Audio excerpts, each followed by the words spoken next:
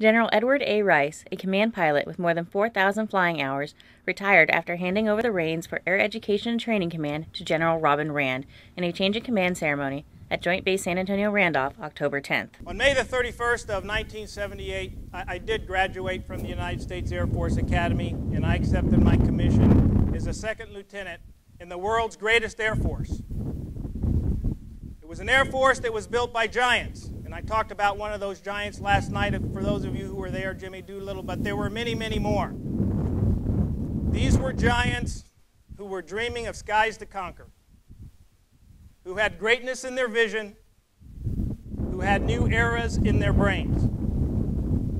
These giants of the Air Force understood that because of geography, because of our national interests, because of our national character, and indeed because of our national spirit, that the United States is and would be an air power nation.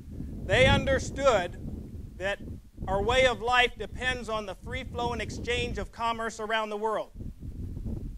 That our way of life depends on the free flow and exchange of people around the world.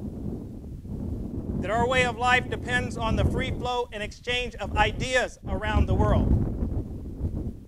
That our vital national interests are both domestic and international, and thus, if America was to achieve the greatness that was the promise of this nation, we must be able to project power on a global scale.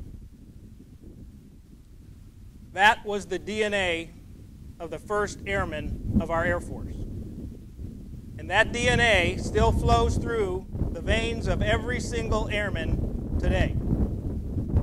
And their vision is with us today as well. And we call it today global vigilance, global reach, and global power for America.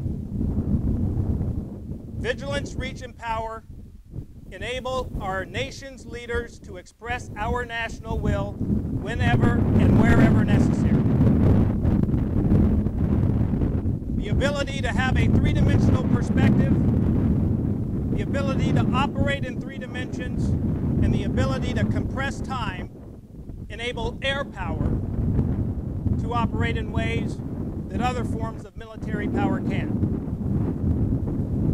We are indeed an air power nation. And the characteristics of air power are more important today than they were yesterday, and they will be more important tomorrow than they are today, based on a world that is increasingly shrinking every single day. This is part of the DNA of the Air Force. And it remains a part of the DNA that we pass on to all of the airmen that come into our Air Force today. So we are indeed an air power nation.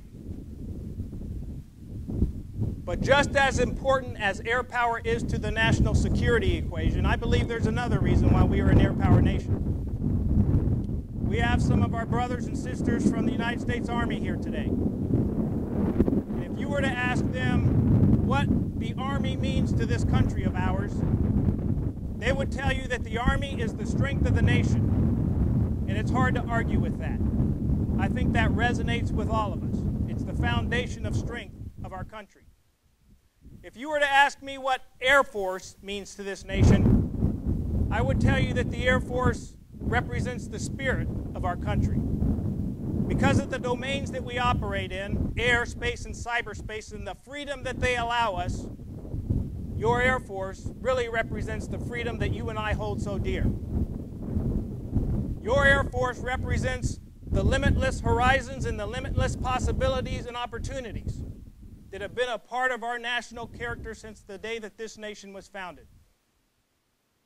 Your Air Force represents our national confidence and optimism that there is no mountain so high, there is no ocean so wide that they can prevent us from achieving our destiny as a free people. Your Air Force, I believe, is indeed the spirit of this great country of ours. It too is part of the DNA of the Air Force. Over the past three years, I've had the great honor to command the Air Education and Training Command. We call this command the first command because every single airman that crosses into the blue and makes that transition from citizen to warrior passes through our gates. The first command. Our number one job is to ensure that that DNA of the Air Force is imprinted on every single airman that makes that transition. That is what we work for day in and day out.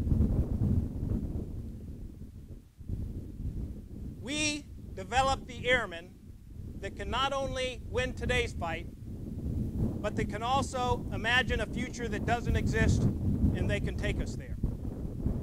And I can tell you that that future for United, your United States Air Force is an extremely bright future. But that future won't arrive unassisted. It will arrive because exceptional airmen who are recruited, educated, and trained by this command make it so.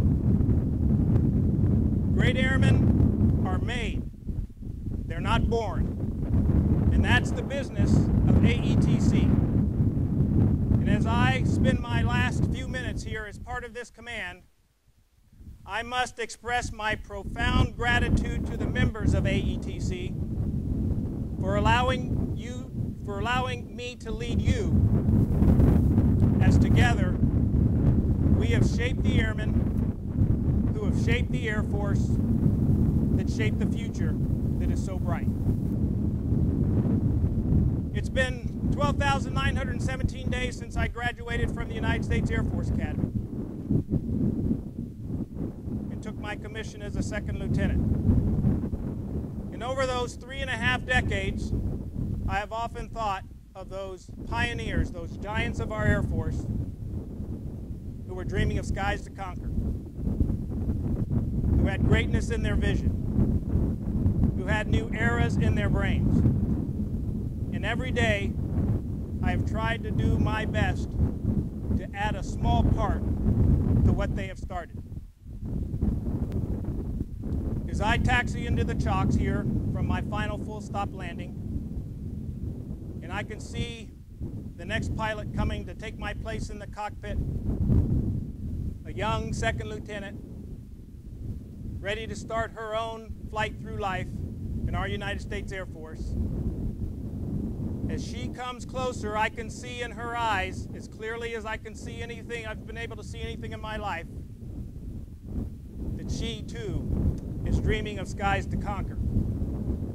That she too has greatness in her vision. That she too has new eras in her brain.